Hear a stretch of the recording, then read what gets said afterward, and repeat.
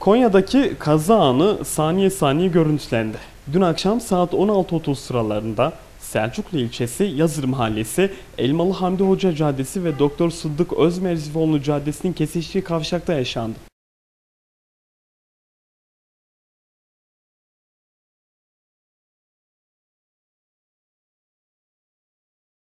Ömer Demir idaresindeki 42 BZ 24 plakalı otomobil kavşakta dönüş yaptığı esnada Doktor Sıdık Özmersivoğlu Caddesi'nden gelen Oğuz Uz idaresindeki 42 AY ile 74 plakalı hafif ticari araçla çarpıştı.